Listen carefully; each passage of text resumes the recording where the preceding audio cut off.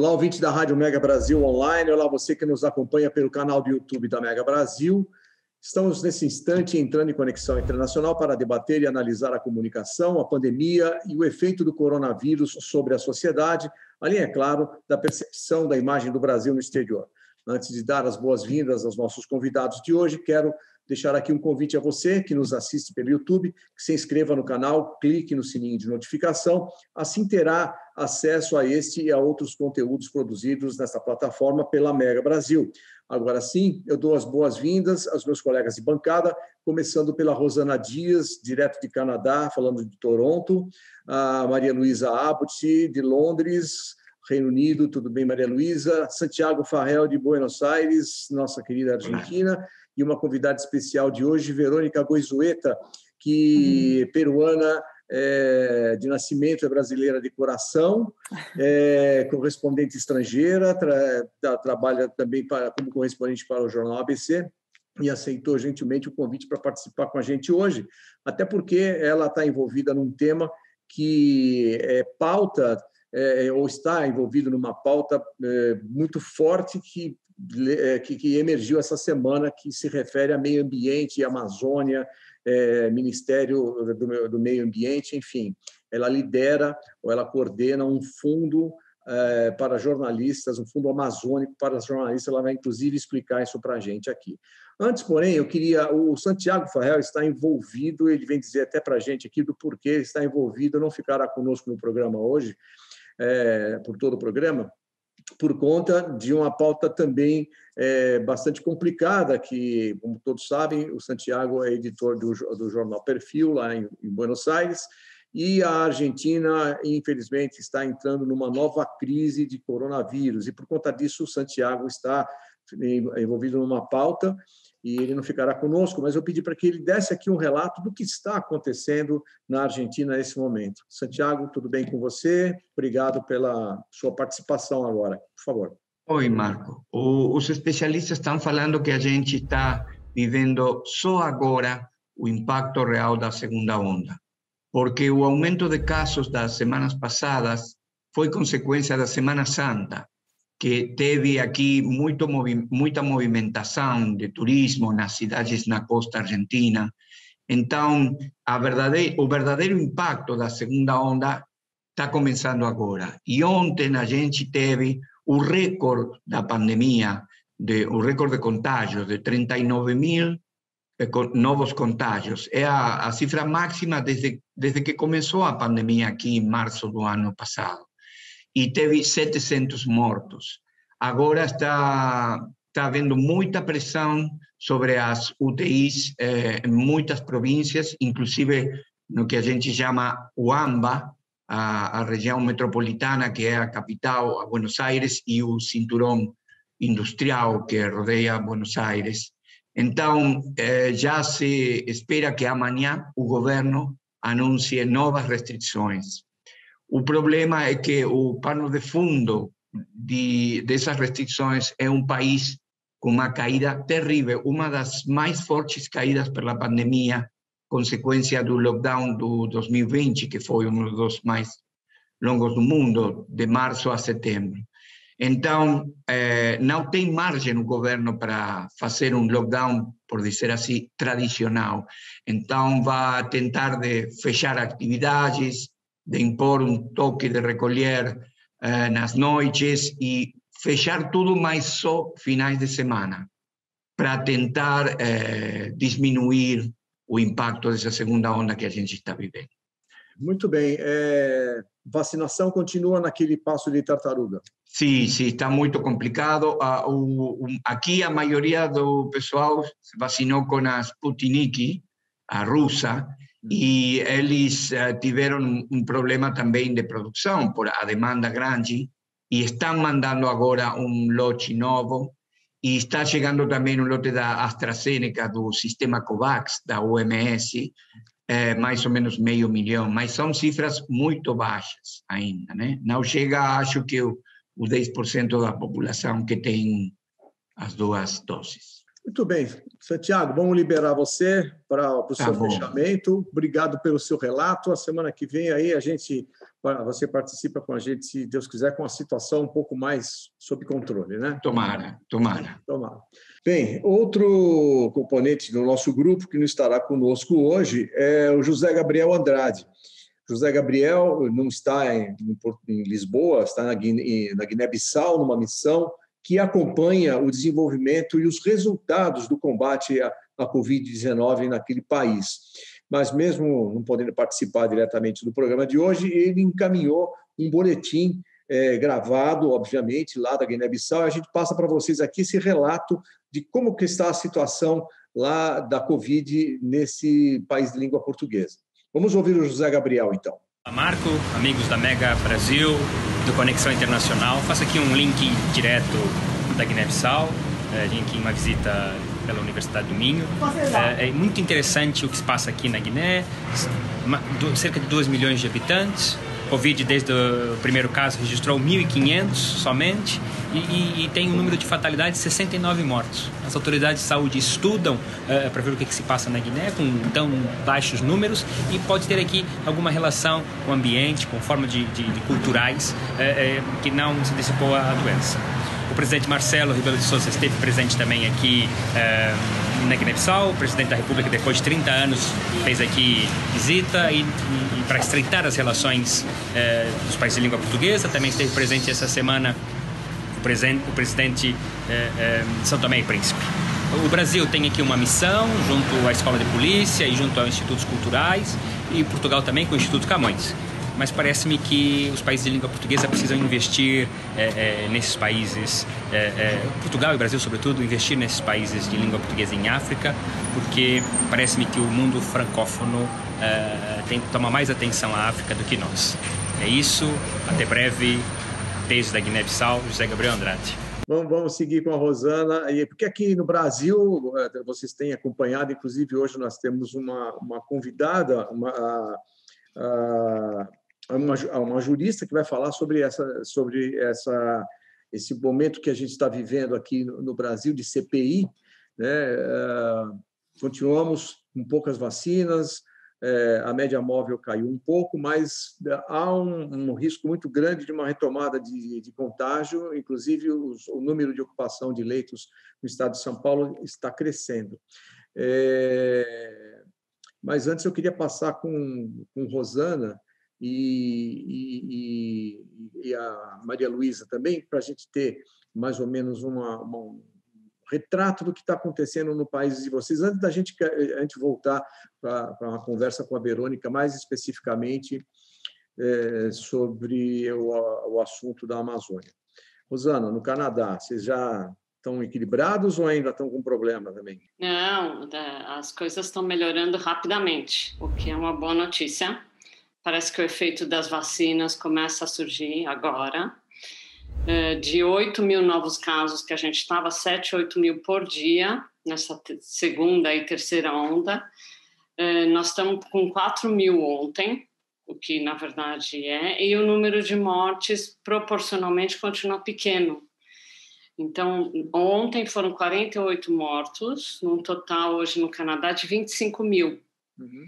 Então, eu acho que as. E a vacinação continua. Está chegando remessa da Moderna, da Pfizer. O que ainda não foi decidido é como eles vão fazer com a AstraZeneca, que foi inclusive a que eu tomei a primeira dose, para a segunda dose, porque a vacina nesse momento está on hold pelo governo para decidir o que vai fazer. Se faz o mix com outra vacina, se toma a mesma. Mas, enfim, notícias alvissareiras. Sem dúvida. Alvissareiras também no Reino Unido, né, Maria Luísa? Porque agora a vida está voltando ao normal, né? É, havia muita animação até talvez terça ou quarta-feira, mas agora estamos todos preocupados, inclusive o próprio governo admite, com a ameaça que a variante da Índia representa, porque ela é, tem os números, ainda não está fechado o, o número, mas ela deve ser mais do que 25% é, por cento mais contagiosa que a variante de daqui da Inglaterra, da variante de Kent, que já era 30% mais do que a original. Então, está crescendo muito o número de casos, estão se espalhando. Há regiões aqui, especialmente eh, no, nor no noroeste do país, em que a, a, os casos estão crescendo de forma exponencial com esta nova variante. Então, já se fala que, porque assim, a, a promessa é que a vida voltaria ao normal no dia 21 de junho, em que a gente poderia de novo ter a vida que você tinha antes do Covid. Uhum. É, porque estaríamos todos praticamente vacinados, é, as, enfim, já começaria a liberar as viagens de férias e a vida normal. Mas aí agora é, já se teme que não seja assim. Mas, por enquanto, os dados até agora são extremamente positivos. Hoje, por exemplo, houve três mortes, o que é um número muito baixo, né, considerando o que, que a gente já teve. É, as pessoas vacinadas, eu até vi que mencionaram alguma coisa é, na CPI, que o número de pessoas vacinadas no Brasil é próximo ao daqui, só que a gente não considera a população, né? Uhum. Aqui já estão nas, nas pessoas na faixa de 30 anos. Entendeu? Então, é efetivamente. Está um, funcionando mais por mérito do serviço do SUS daqui, que é o NHS, do que por qualquer outra coisa, mas está é, tá funcionando. E agora vamos torcer que essa variante da Índia consiga ser contida, não é? É, inclusive, é uma notícia que, se, que a variante foi detectada no Brasil né, nesta quinta-feira, né, da quinta-feira dessa semana. É, eu vou passar a palavra para a Verônica, nossa convidada, porque a Verônica, apesar de dela estar aqui com a gente, vai falar sobre um outro tema, mas ela foi, tem sido demandada também, não é, Verônica, para na cobertura da Covid. Né? E você já está há quanto tempo aqui no Brasil como correspondente, Verônica? Eu, eu já estou brincando que eu estou a dois impeachment esperando o terceiro, mas acho que o terceiro não vem, né? É, já está virando referência histórica. Né? É. Mas, mas é, então, você já, assim como o Santiago, eu brinco que o Santiago uh, Farrell é o argentino mais brasileiro que eu conheço. E você eu considero a peruana a mais brasileira que eu conheço também. Tem, inclusive, eu quero até recomendar aqui para os, quem nos acompanha, tem um bar muito interessante aqui na, na, na cidade de São Paulo, Tubaína Bar, que trabalha com aquela memória afetiva que a gente tem da infância, ou não, as pessoas têm pessoas que gostam mesmo, eu também sou um deles, daquela bebida tubaína, que é sabor tutti-frutti, que a Verônica sempre brinca, fala, o que é sabor tutti-frutti? Mas é um, é, é, um bar que tem uma carta é, de culinária é, muito bem elaborada, culinária peruana, é, não ainda... mais. Ah, não é mais? Não. É, não, a gente assumiu a brasilidade mesmo. Do... Ah, tá. Mas a gente pode pedir um lombo saltado lá, se for, não? Acho que hoje não, não dá mais. Acho é, que o cozinheiro já não, já não consegue. Então, Mas aí a gente inventa. Eu, eu, eu arrumo um. Senão a gente vai ter que ir até o Ritz, lá em Orlando, para comer esse lombo saltado. Sim. Sim. Onde está a mamãe da Verônica. Então, Verônica, como é que tem sido a sua demanda de notícias é, sobre a Covid? Como que você tem visto, como você tem analisado com o seu olhar de jornalista e já tendo vivenciado dois impeachments, como que você tem analisado o, a, o, nosso trato aqui no Brasil?Lembrando, a notícia da semana sobre Covid é, como eu disse na abertura do programa, que um aumento de taxa de ocupação de 7,5% de, desde o final de abril na rede hospitalar privada do Estado de São Paulo, na rede hospitalar privada. Hein? Essa é uma pesquisa do Sindicato dos Hospitais, Clínicas e Laboratórios, que foi realizada entre os dias 11 e 17 de maio e que mostrou que 85% dos hospitais já têm ocupação superior a 80%.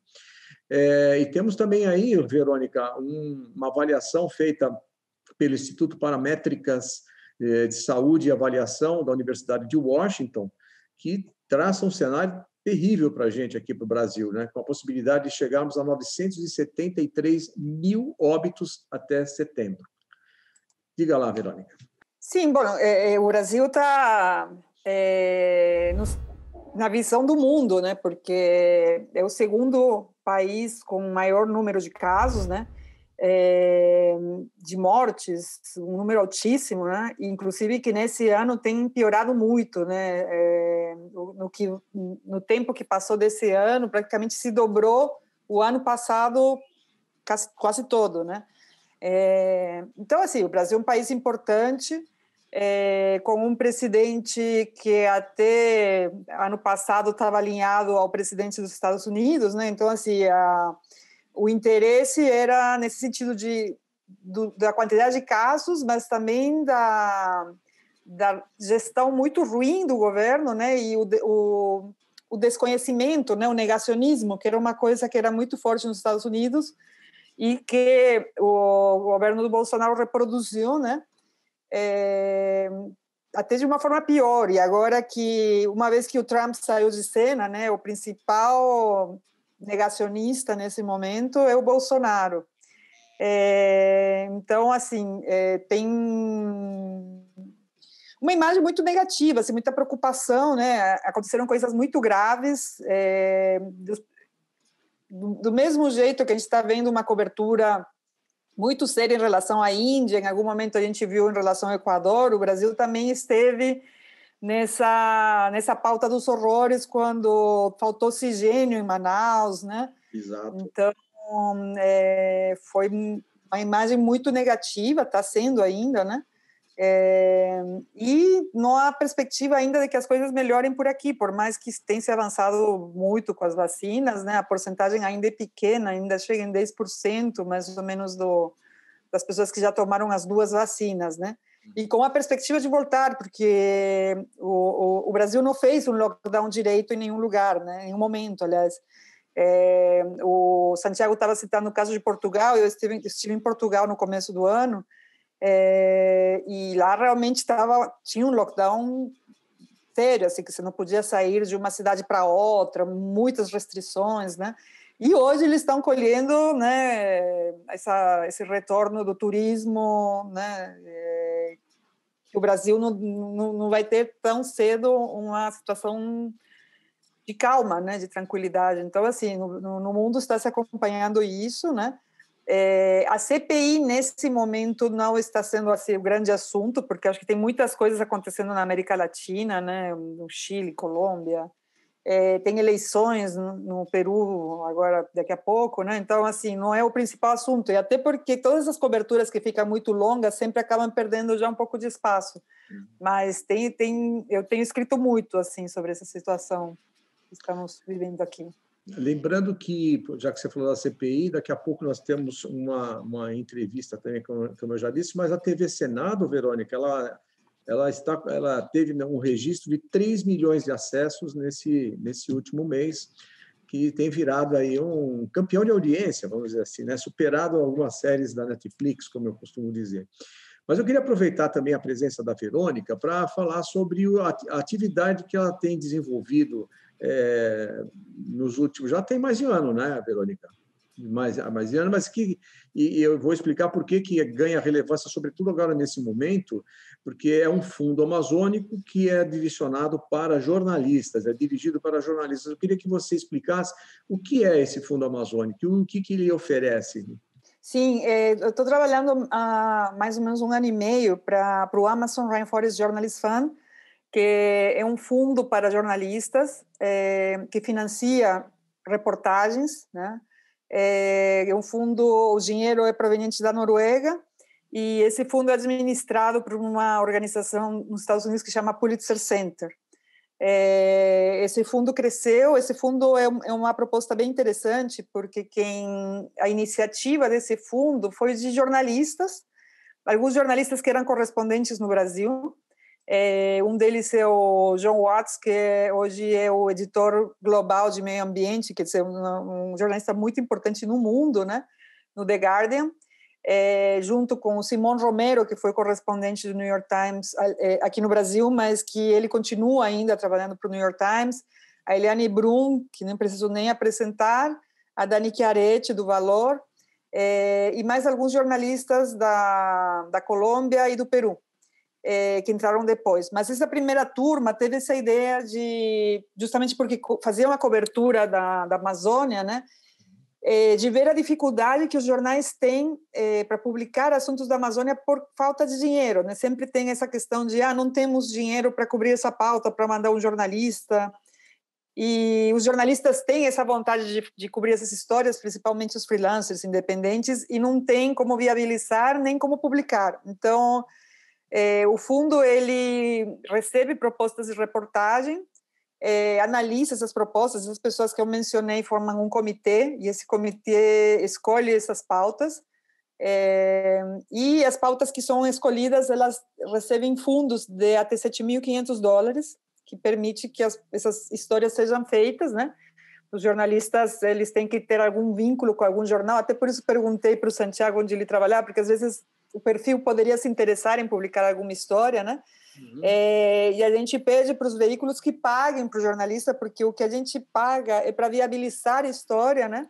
E, e, a, e, a, gente tenta, né, faz o possível para que o jornal não, não se esquive dessa responsabilidade de pagar os jornalistas pelo seu trabalho, né, de pagar os honorários. A gente faz com que a matéria seja possível. Então, é, é esse trabalho que, que eu estou fazendo, eu coordeno esse, esse grupo, esse comitê, e esse processo de aprovação das bolsas, uhum. que tem sido super importante nesse momento, porque a Amazônia está no olho de todas de uma discussão internacional, né, inclusive por toda essa questão que estava falando antes, né, do a gente ter um presidente negacionista e e o, o, o ministro do meio ambiente que está sendo investigado, né, por não cuidar do meio ambiente, pelo contrário, né? É, essa, essa, esse, essa, esse tema que eu ia trazer para você aqui, se você acha que deve aumentar a demanda por conta desses últimos, esses últimos acontecimentos né, dessa semana, com a investigação de Ricardo Salles envolvido numa, numa, numa trama mesmo de contrabando, uma, quase que é, e, e, provocada pela, pelos Estados Unidos, né? É, eu sei que foi notícia fora do Brasil e eu queria saber como é que foi a cobertura aí, eh, Maria Luísa, desse tema, antes da gente ouvir a Verônica, aí em Londres. Você vai notar, Verônica, que ali, bem atrás da Maria Luísa, tem uma foto do Boris Johnson. Ela é uma pessoa é admiradora da, do nosso colega jornalista. Ele insiste que, em querer que eu, que eu me torne uma admiradora de Boris Johnson, entendeu? O que é só, você vai ter que vir para cá para ver que não é uma coisa que seja possível. Mas gosta do corte Mas... de cabelo dele. Diga lá, Luísa. Foi notícia. Olha, infelizmente, a matéria da, da investigação do ministro do Meio Ambiente do Brasil saiu literalmente em todas as publicações de relevância mundial. Então, aqui você pode dizer, ah, saiu no Guardian. O Guardian sempre vai publicar matérias de meio ambiente, mas saiu no Financial Times também, que é uma publicação que, que escreve para as pessoas da área de negócios. Então, é porque o assunto Amazônia é um assunto de negócios, ele deixou de ser de meio ambiente, ele é uma questão de negócios, porque os investidores já tiraram dinheiro do Brasil, já ameaçaram tirar, já tiraram, uns já tiraram, outros já saíram.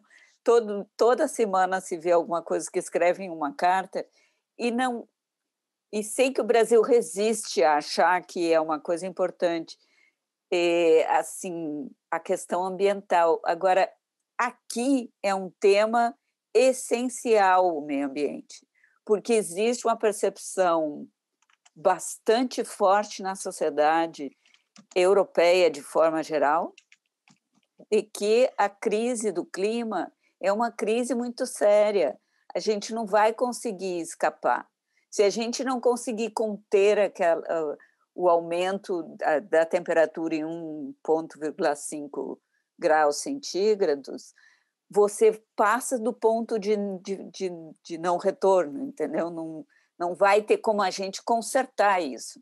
Então, os nossos filhos e netos vão ter uma vida muito difícil.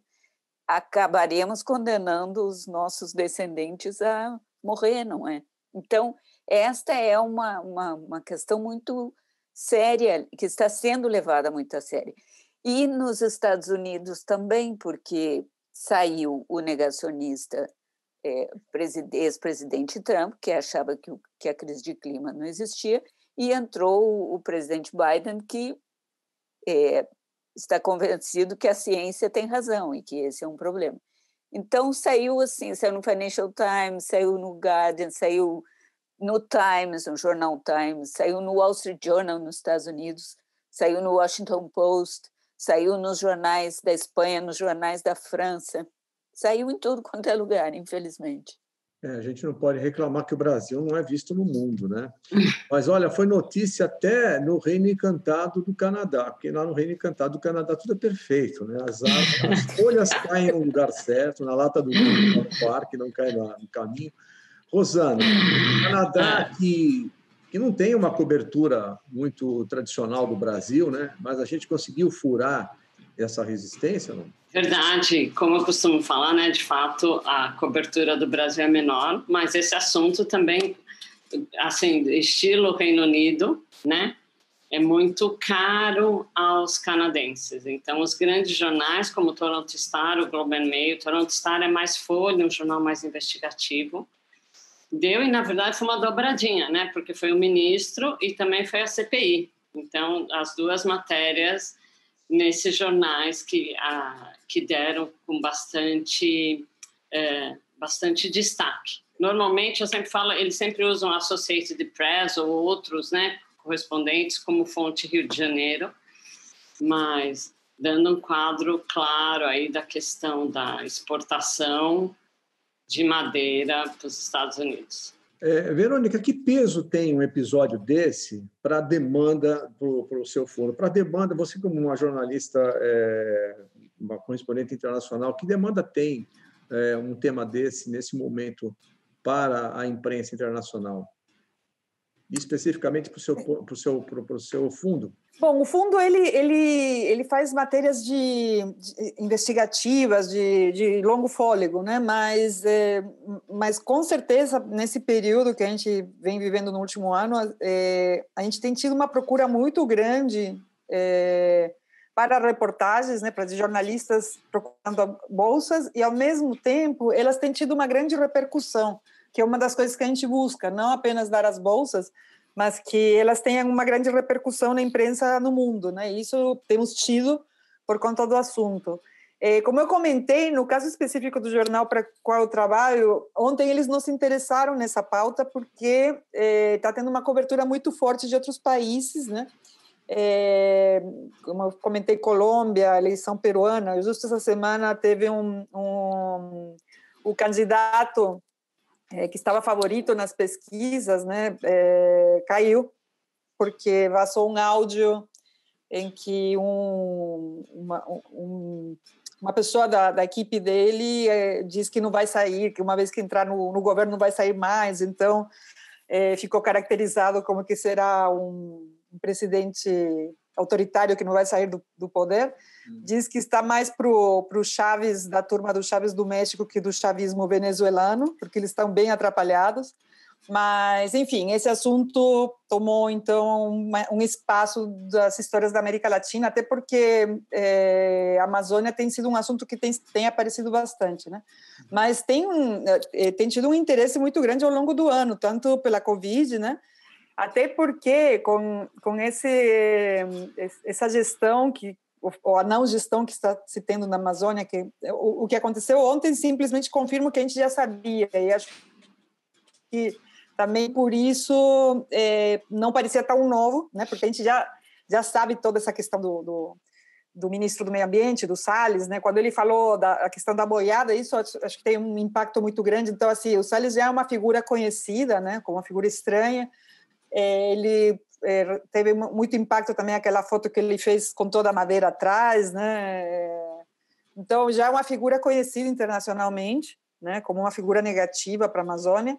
E então, assim, acho que é uma, uma cobertura que está forte e não vai parar, né? Não vai continuar assim. Pode ser que às vezes não saia um, um determinado assunto, mas como a Maria Luísa e a Rosana falaram, a cobertura, a, a cobertura tem sido forte, né, em relação ao que aconteceu ontem. O fato dessa, dessa, dessa denúncia ter sido demandada pela, pela, pelos Estados Unidos, pelas autoridades americanas, ela agrava essa, essa questão da, da, ambientalista aqui no Brasil, ou essa gestão que se é feita pelo meio ambiente aos, aos olhos do mundo? Não, com certeza, porque, porque uma das questões nesses contrabandos, né, é, são as duas pontas, não é apenas da onde que sai, como sai, que é muito grave, né, mas também para onde vai, né, e até porque tem muita investigação agora de que algum, algumas certificações que, que a gente é, conhece como que, que, garantem né, que essas, essas madeiras ou esses recursos que saem daqui é, são legais, nem sempre são. Né? Então, a gente já está vendo casos de corrupção de que as certificações estão erradas. Né? E essa flexibilização que, que o governo sempre apresenta, né? É, ah, vamos flexibilizar, né? É uma coisa que veio de Londres até, né? Faz muito tempo. Tá vendo? Exato. Vamos flexibilizar, fazer as coisas mais fáceis, liberalizar, né? facilitar a vida do empresário. É, em alguns assuntos não funciona bem assim, né? E acho que no, nessa questão é, dos recursos naturais não dá para flexibilizar, até porque como a Maria Luísa e a Rosana estavam falando, há uma preocupação muito grande fora, né, sobre o que está sendo feito com o mundo. E às vezes dá a impressão de que não tem essa consciência aqui, o que não é verdade também, porque tem muita gente preocupada, tem, tem, tem, tem muita gente fazendo trabalho de sustentabilidade, tem muitas empresas com essa preocupação também, mas tem a turma da, da ilegalidade que está tirando. Isso é, é, é uma grande tragédia, né? Porque, porque esses criminosos, né? Eles tiram recursos, é, extraem de uma forma muito violenta e a gente sofre porque esses não tem nenhuma nenhum benefício para as pessoas que vivem nessa, nessas áreas. Né? Então, se extrai árvores, se extrai minério, se extrai uma série de, de, de, recursos naturais e nessas áreas onde esses recursos estão sendo extraídos são as áreas mais pobres sempre, né? As que menos se beneficiam dessa, desse ganho que alguém tem, né? Hum. Então, sim, com certeza ter é, uma, informações dos Estados Unidos e ter uma dimensão de como isso é uma questão internacional, com certeza é importante. Maria Luísa, é, a Verônica chama atenção para uma questão social e econômica, mas a gente tem um aspecto de segurança bastante, bastante grande também. A gente tem visto a, a atuação do, do, dos garimpeiros, sobretudo, né, é, junto à comunidade indígena. Isso também che chega para a imprensa uh, Londrina para a imprensa britânica? É, essa, essa, essa, esses ataques recentes ao Yanomamis uhum. saiu aqui. Não, obviamente, na mesma intensidade, com o mesmo destaque de, que esse caso com o ministro do Meio Ambiente. Agora, a questão indígena e o, o, e o sofrimento dos indígenas, principalmente por conta do Covid, também tem ganhado bastante destaque aqui. Toda aquela crise que a Verônica estava lembrando, a crise de Manaus, ela foi muito focada no impacto nas populações indígenas, né? nos povos indígenas. Uhum.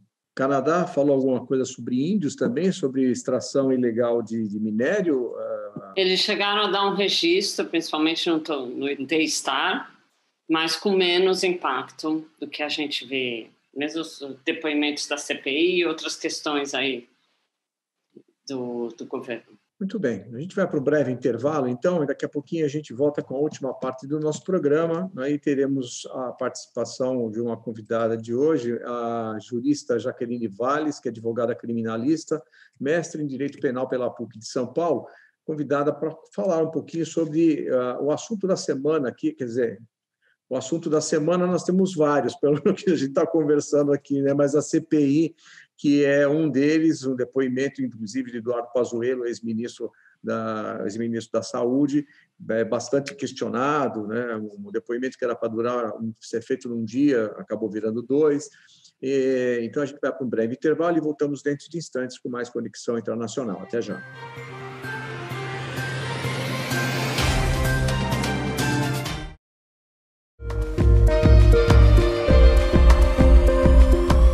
Comunicação interna sempre foi um grande desafio para os profissionais do setor, que só fez aumentar com o crescimento das redes sociais.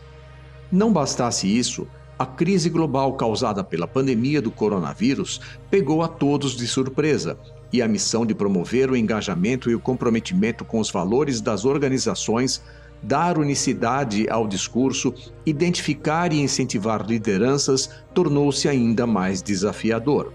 O Seminário Mega Brasil de Comunicação Interna 2021 traz para o centro dos debates as tendências e transformações nas relações de trabalho, um tema que ganha relevância diante da pandemia. Esta é, portanto, uma oportunidade única para você conhecer as experiências de grandes marcas neste momento transformador na comunicação com empregados. Participe do Seminário Mega Brasil de Comunicação Interna 2021 dias 26, 27 e 28 de maio, das 10 ao meio-dia, no canal da Mega Brasil Comunicação no YouTube. Faça sua inscrição gratuita em megabrasil.com.br barra seminário 2021. Corra, garanta já a sua participação.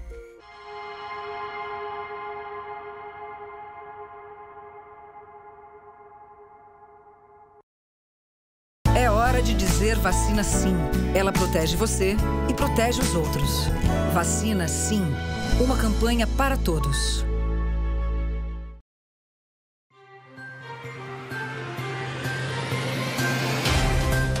Olá, ouvintes da Rádio Mega Brasil Online. Olá, você que nos acompanha pelo canal do YouTube da Mega Brasil. Estamos de volta com Conexão Internacional.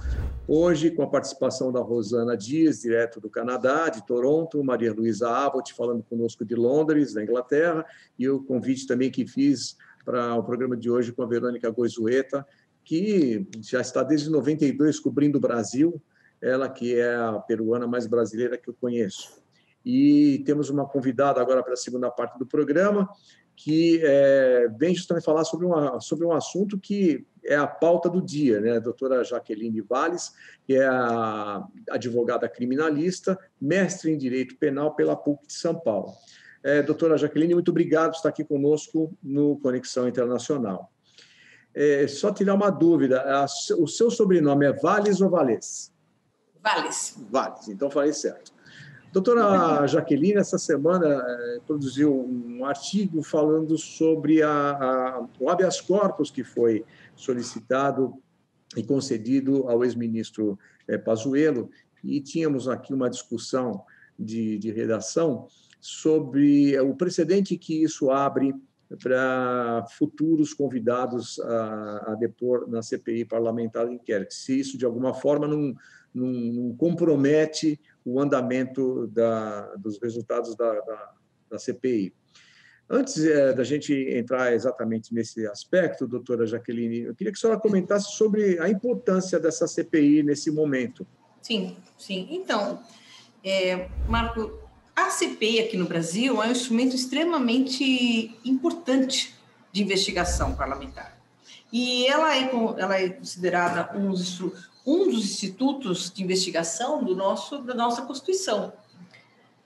Quando nós temos uma situação que impõe que, a, que os parlamentares, que é uma investigação política, mas não deixe de ser uma investigação política com, com condão de verificar se houve algum crime comum ou crime de responsabilidade.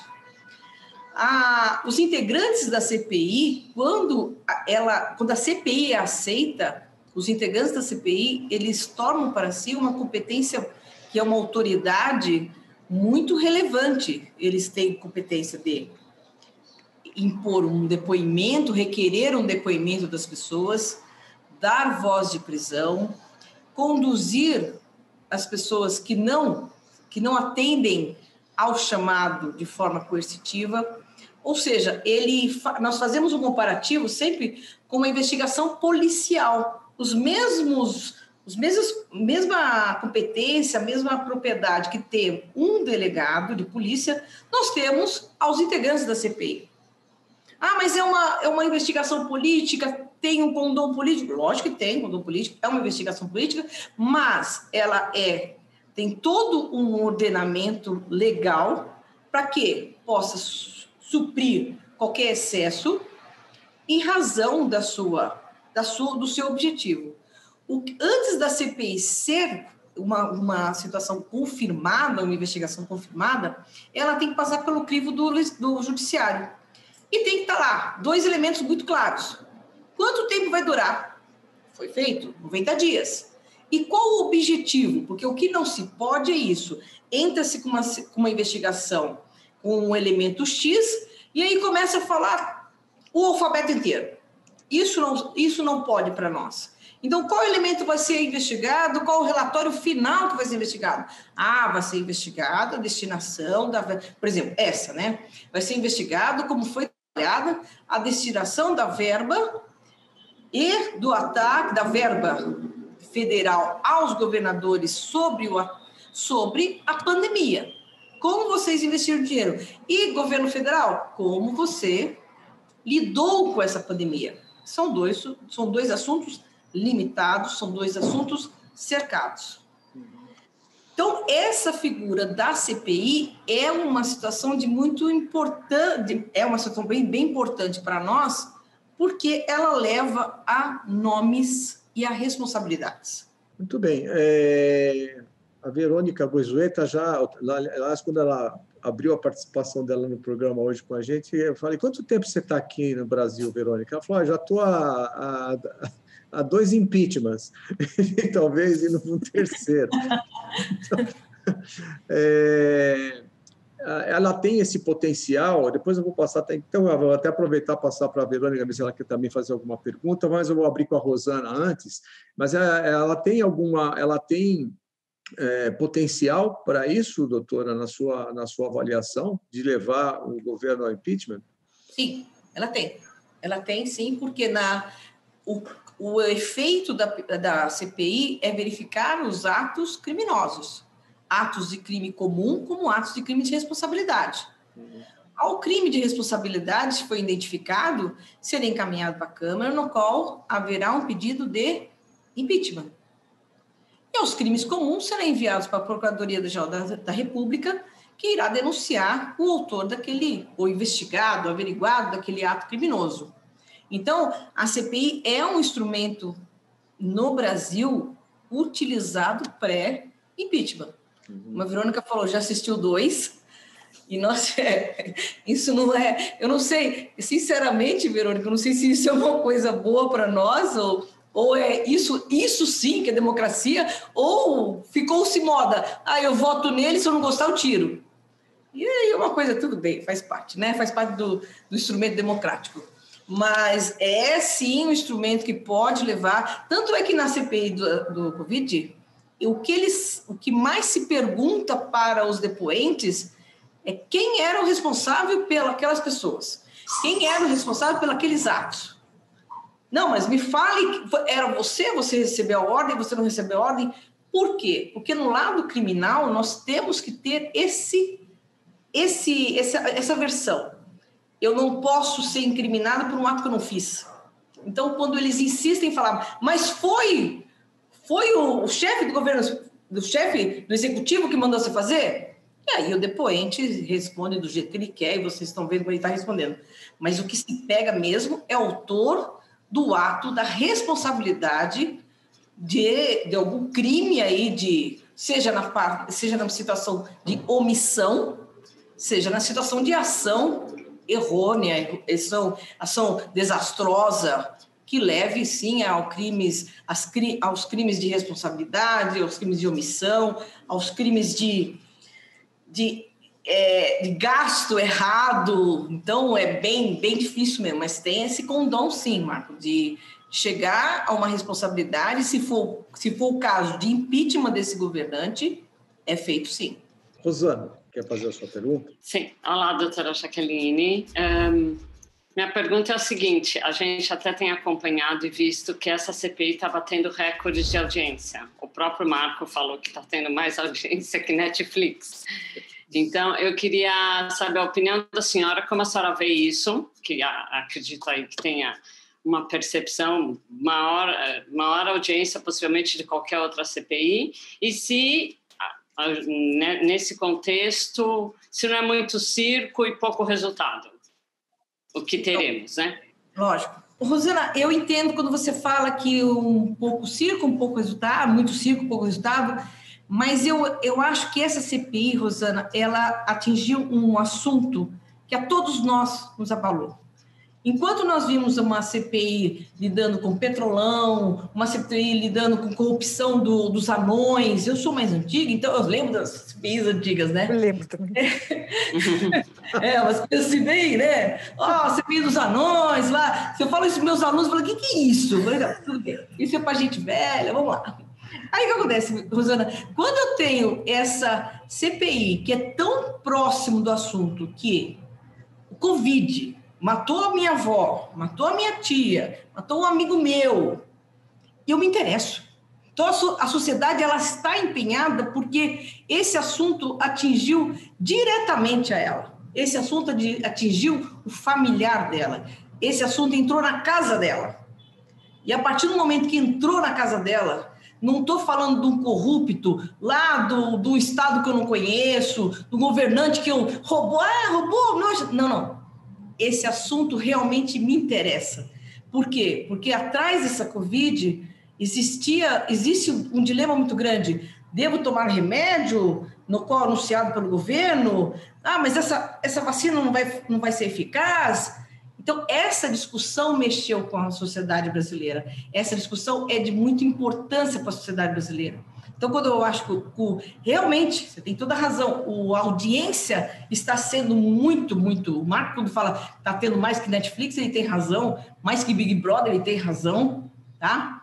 Porque as, as pessoas querem uma solução, as pessoas querem uma resposta, elas querem uma diretriz.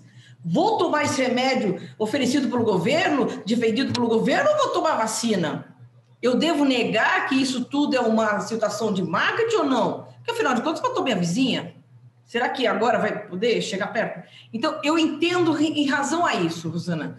É um assunto extremamente próximo de cada um. E aí desperta interesse, sim. Tá? Óbvio, há excessos no linguajar, há excessos nos discursos, isso faz parte de uma, de uma, de uma situação política. Tem muita gente que atua nesse momento para se autopromoção, mas que a, o interesse é particular e social é. Eu, eu entendo que seja os dois lados. Falar em, em proximidade, né, Luísa?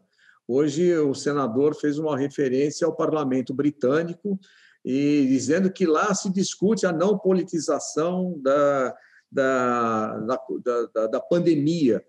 E eu consultei a, a Maria Luísa para ver se isso era verdade. Ela falou: bom, faltou contextualizar, né, Luísa? Porque parece que isso é uma prática, tem sido uma prática, né? É porque aqui o sistema, como funciona, o primeiro-ministro ele vai ao parlamento uma vez por semana e também é ao vivo, tele, é, as televisões é, transmitem, e ele responde a perguntas do líder da oposição e dos outros políticos que estão. Vai ter gente que o apoia e gente que é contra ele. Então, nesses, é, nesses debates, de, de, que parte deles são online, remotos, por, por conta do Covid, mas tem presencial também, eh, com distanciamento social, eles vêm discutindo essa questão praticamente toda semana, porque a oposição critica o governo, aponta os erros que o governo cometeu e o governo reage dizendo não, mas não vamos politizar isso aí porque né, a gente está, sabe, são, não vi, a, a não ser que tenha me escapado e eu acho, eu acompanho assim de perto acho que eu não teria me escapado. Eu não vi nada nesta semana que tivesse sido diferente de outras semanas. Não há Mas que é uma questão, uma questão que se coloca, sem dúvida. É, é. Agora, doutora, eu queria eh, voltar um pouquinho, porque a senhora falou que lembra da CPI dos anões, eu lembro também da CPI do PC Farias, eu cobri, eu, eu morava em Brasília nessa época, cobri, cobri a CPI dos precatórios, em que o presidente do Banco Central foi preso, o Chico Lopes teve, né, foi voz de prisão. É, o que eu queria voltar um pouquinho ao impeachment do Collor é que eu me lembro que as coisas viraram assim efetivamente contra ele no momento em que as ruas, um, os, as manifestações nas ruas cresceram. Isso a gente não imagino que não vai ver no Brasil agora, até por conta do, do Covid. Mas aí tem esse elemento que Rosana lembrou, que é essa audiência gigantesca da televisão. Como é que é esse julgamento espetáculo e essa pressão é, é, que pode ser exercida a partir da audiência é, da televisão?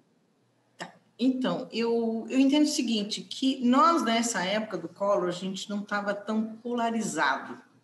Hoje, nós temos uma política extremamente polarizada. Nós temos direita e esquerda, e muito forte. Por uma, e, e são... E são e, e, quanto muito você não aceita a opinião do outro e, e não tem uma voz ativa muito clara, muito clara. Eu posso estar falando bobagem, mas eu, óbvio, não sou, não sou cientista político, sou advogado criminalista, mas eu vejo por mim assim, você não tem uma, uma liderança de um dos polos para falar, vamos à rua, vamos fazer. E antigamente eu, eu sentia isso. Quando as pessoas, as pessoas se uniam tá, para uma situação única que eu não, não gostei, não tô, não tô feliz, eu quero, afinal de contas, a corrupção não, não me pertence, eu coloquei o colo lá achando que iria ser diferente, e que no fim ele pegou e não foi diferente. Então eu não quero, eu estou dizendo não. Mas o que, que nós estamos vivendo? Nós estamos vivendo uma era que nós tivemos um governo que foi, foi julgado, foi, foi, feito, foi colocado na cadeia, foi colocado no processo criminal, colocamos uma outra pessoa que, o nosso dado democrático, seria uma pessoa diferente, e agora nós temos realmente dois lados. O que antes falou, viu, não, é tão, não era tão ruim antes, agora aqui não, aqui está é, é, tá sendo muito bom. Então, essa força popular nas ruas, como você mesmo diz, na, por causa do Covid, então essa, essa frequência na rua, nós não vimos, mas essa interação com o que está acontecendo, eu acho de suma importância. Acho de suma importância e acho de representatividade. Porque nós estamos hoje discutindo, nós aqui, nós poderíamos estar falando de outra coisa. Não, nós reunimos um pequeno grupo para falar sobre CPI. Lá na faculdade a gente se reúne para falar sobre CPI. Então, isso, as manifestações não estão na rua? Não. Mas essa, esse envolvimento popular está me chamando muita atenção. Esse envolvimento popular, para mim, é muito interessante. Não sei se nós vamos ter a representatividade de ver as pessoas do jeito que nós vimos as pessoas na rua, porque uma coisa é, é as pessoas vão na rua, fazem barulho, tá? Aqui nós ficamos falando entre nós, não sei se nós teremos o mesmo resultado, mas que faz com que as pessoas se, se integram, se, se veem, mesmo que elas estejam polarizadas, isso está sendo muito interessante. Eu acho que pode sim pensar, e eu acho que faz as pessoas pensarem. Isso me, me interessa muito, fazer as pessoas pensarem.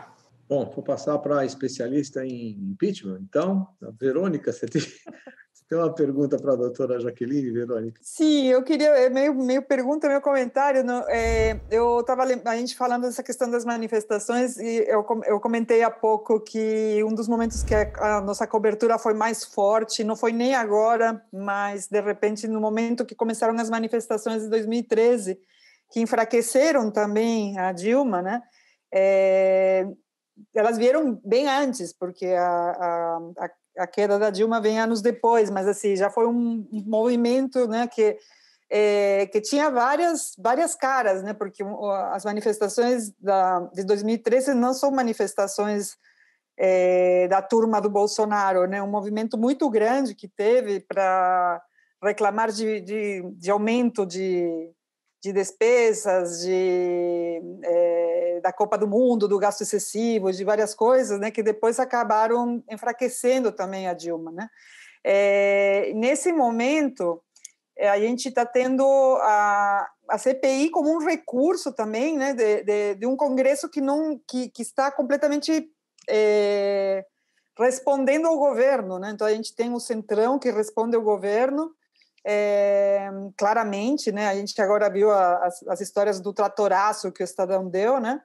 É, então, assim, corrupção aos montes, Mas, e, e, uma, e a gente sabe que temos mais pedidos de impeachment do que nunca, né? O que tinha na mesa do Cunha na, no momento que ele pediu impeachment da, da, Dilma não chega nem perto do que o, o Maia teve na sua mesa, né? E o, o atual presidente do Congresso não quer nem mencionar, né?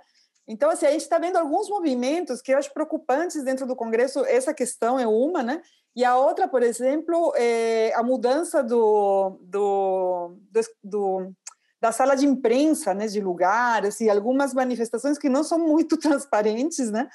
É, o presidente do Congresso vai avançando e agora o recurso à CPI, né? Então, uma vez que essa CPI avançar e ela consiga aprovar, ela vai poder voltar para o presidente do, do Congresso e ele terá que aceitar? É assim que funciona?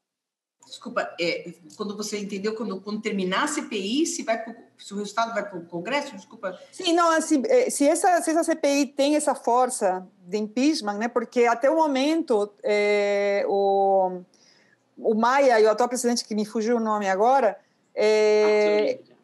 desculpa, é o Lira. Arthur Lira. Arthur Lira. É... Eles, eles têm, a, têm as, a, as denúncias, né? de impeachment na mesa, mas eles falam que não é o momento, agora não, e ficam inventando um monte de coisa. E então esse processo agora voltando para para para o Congresso vai ter essa tem esse caminho então. Sim, sim. Ao terminar o impeachment, Verônica, o que, que nós temos? Nós temos resultado, como qualquer investigação. E é uma, uma situação, é, é um grupo insatisfeito com a tal atitude do, do Jair Bolsonaro, vai lá e pega o impeachment dele. Tudo bem, ah, estou insatisfeito porque ele, ele deixou os respiradores vencerem, ou senão não deu respirador, o teste está vencendo do Covid não fez nada. Bom, eu quero impeachment dele. Uma coisa é um grupo, tá? Uhum.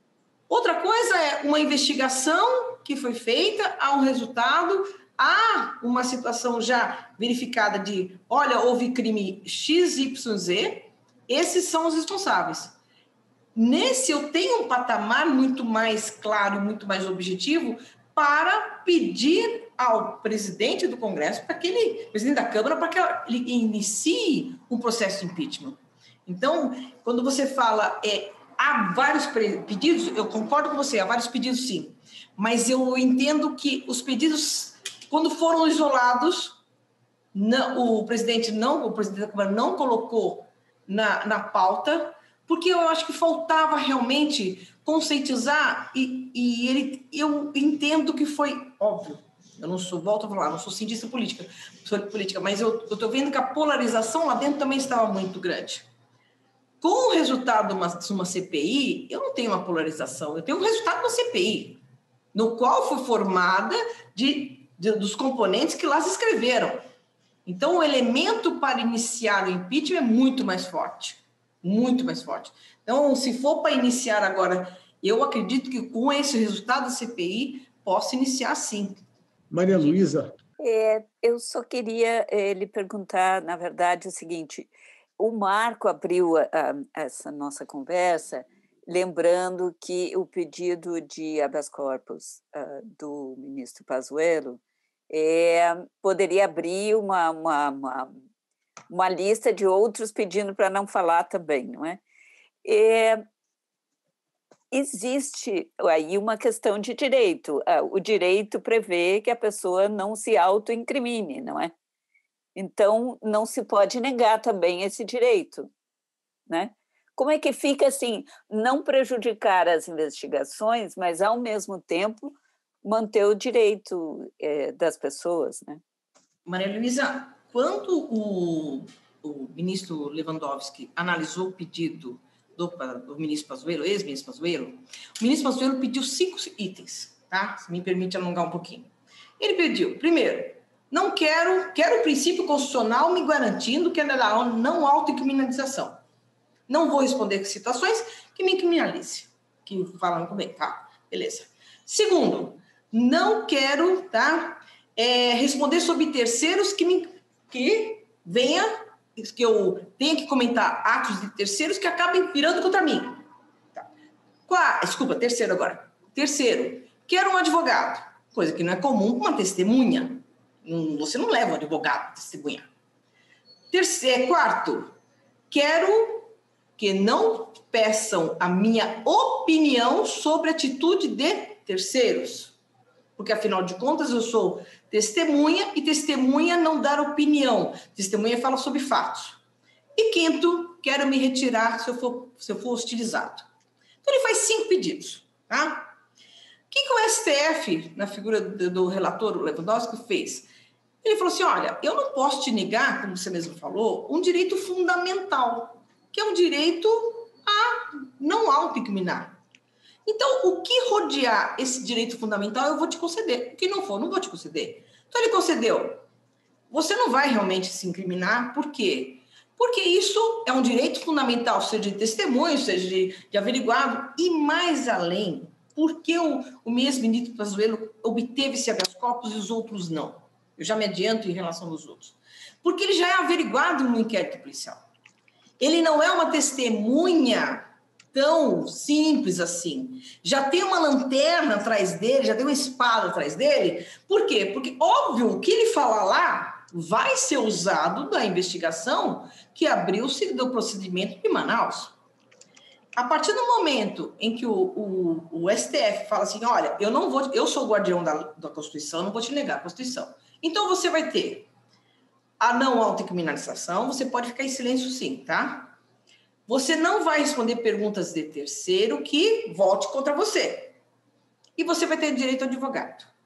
Eu te dou esses três. Agora, poder sair de lá? Não.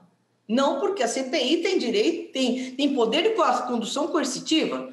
Se você sai, ela manda você voltar. Ah, você vai ter que permanecer.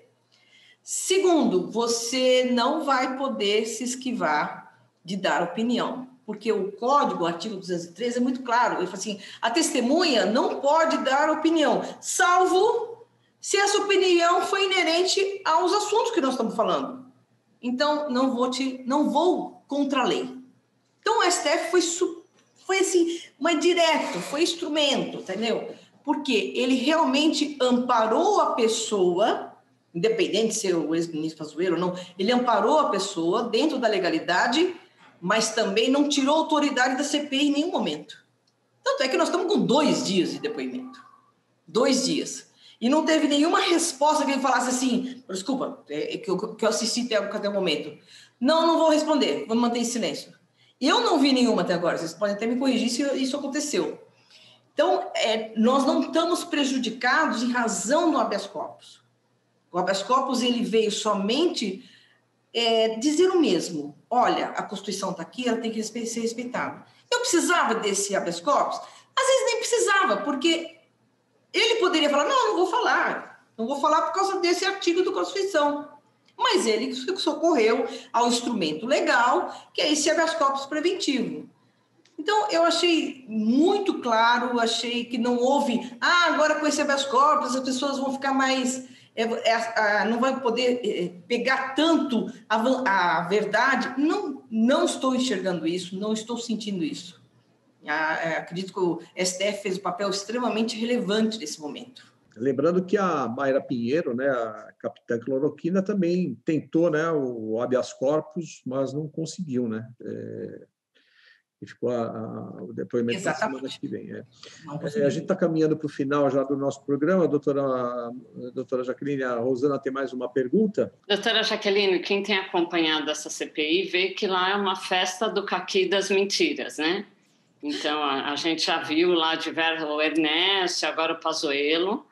Quem acompanha as notícias do Brasil já viu, já, já viram essas pessoas no passado defendendo kit, Prev, tá? E hoje em dia chega lá na CPI e fala: não, imagina, eu nunca fiz isso, eu não sei o que é que essa app era um hacker. Então, eu queria a opinião da senhora, como é que é essa história? Pode mentir à vontade, não acontece nada? Então, Sana, é, opa, é, não, não pode mentir à vontade, não pode mentir à vontade, tá? Mas como é que fica o, o, a prisão em flagrante? Óbvio que todas as pessoas podem ser presas em flagrante, lógico. O que, que é o flagrante? O que, que é a prisão em flagrante? É você inibir para que o crime não continue, tá? Então falaram assim para mim: ah, mas ele pode ser preso em flagrante? Pode, pode ser preso em flagrante. Mas flagrante do quê? Qual o crime? Do falso testemunho? É, do falso testemunho, tá? O que, que é falso testemunho ao pé da letra? Falso testemunho são duas situações. Eu falar a inverdade e a omissão. Para que eu peça a prisão, peça não, que eu decrete a prisão, ah, você está preso porque você está mentindo. Pela primeira faceta do crime falso testemunho, tá? Quer dizer, a, a, dizer mentira, inverdade. Eu tenho que ter um instrumento probatório nesse momento, falar assim, isso diz isso e você está dizendo aquilo. Só que lá na CPI, o que nós enxergamos, Susana, é pessoas falando, não, mas não é verdade, porque no meu estado você não veio com, não, você não veio com, essa, com, esse, com esse argumento, não, porque não tem uma prova contundente para dizer, olha, você está mentindo. O que, que eles estão fazendo com modo de extremamente correto? Tirando as perguntas, tirando não, pegando, a gente chama é tirar termo, né? É, pegar a cópia dessas perguntas e mandar para a Procuradoria da República para poder fazer a instrução de, uma, de um processo de crime de falso testemunho. Porque aí o que, que eu faço? Aí sim eu tenho uma, uma, um, um dado certo e vejo que você falou contra esse dado, então você mentiu. Mas isso eu preciso, eu preciso do procedimento legal. Eu preciso de uma instauração de, de inquérito policial, uma ação, uma ação penal. Tá? Aí as pessoas falaram assim para mim, mas ele não pode ser preso? Pode pode ser preso pela omissão. Eu não vou responder, porque também eu faço testemunho quando você não pode responder. Tudo bem? Uhum. Mas como ele está agindo de acordo com a Constituição de não responder quando ele não pode fazer autoincriminalização, ele tem, até então, esses depoimentos, essas pessoas, não estão pecando pelo crime de falso testemunho pela omissão. Se elas deixaram de responder porque eu não vi, tá? Ele, eles deixaram de responder não em relação a outra pergunta, e sim para si mesmo. Tudo bem? Deu para entender? Uhum. Aliás, eh, lembrando, uh, pela primeira vez, tudo bem que hoje o celular faz parte do nosso corpo, né? É, num evento que nós na Mega Brasil fizemos e falávamos sobre a chipagem de seres humanos. Eu fiquei até na época um pouco indignado com essa com, com essa invasão, né? É, literalmente uma invasão do nosso corpo.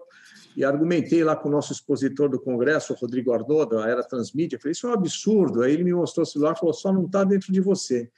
E agora, na, na CPI, o que nós, nós, nós temos visto é o, o celular fazendo justamente esse contraponto que a senhora estava se referindo. Como você não disse, está aqui a sua declaração. Como que o presidente não falou? Olha o que ele disse, né? E nós vimos isso em, em algumas, eh, algumas circunstâncias.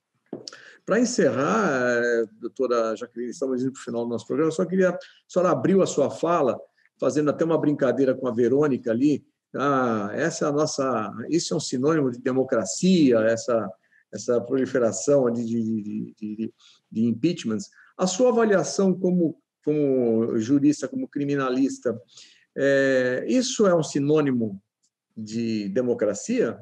Eu, eu, eu entendo que sim, Marco, eu entendo que sim. Tá? É, as pessoas votam, votam é, é o modo mais institucional da democracia, e infelizmente as pessoas também tiram.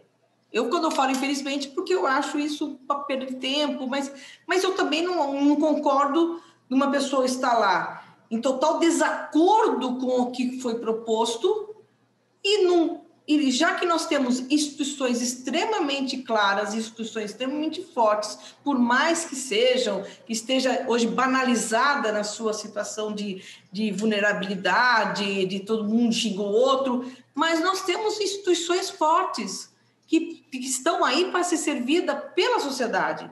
Então, eu, eu, eu creio sim que esse é, um, esse é o mais alto da democracia, você pegar, você votar e você falar, não, calma aí, eu não quero.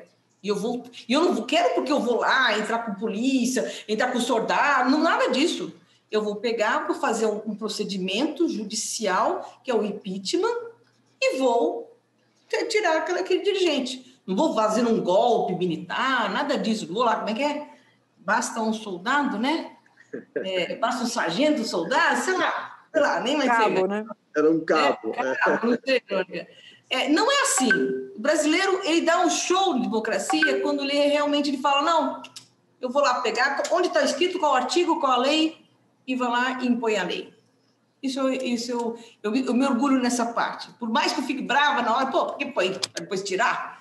Mas tudo bem, se não está legal, tem que tirar pela lei. Muito bem, quero agradecer é, a doutora Jacqueline Valles pela, né, pela sua participação no programa de hoje, esclarecendo aqui essas, uh, os aspectos relacionados à Covid, uh, perdão, falamos de Covid também antes, viu, doutora? É, relacionados à CPI, mais uma CPI da Covid. Quero agradecer também a Rosana, quero agradecer a Verônica. Verônica, muito obrigado por estar aqui conosco, uma figura muito simpática, muito querida, e aceitou participar com a gente nesse programa. Maria Luísa Abbott, fã incondicional de Boris Johnson, e também muito obrigado por estar participando aqui conosco no Conexão de hoje. Obrigado a você também que esteve conosco até aqui. Semana que vem tem mais Conexão Internacional. Até lá.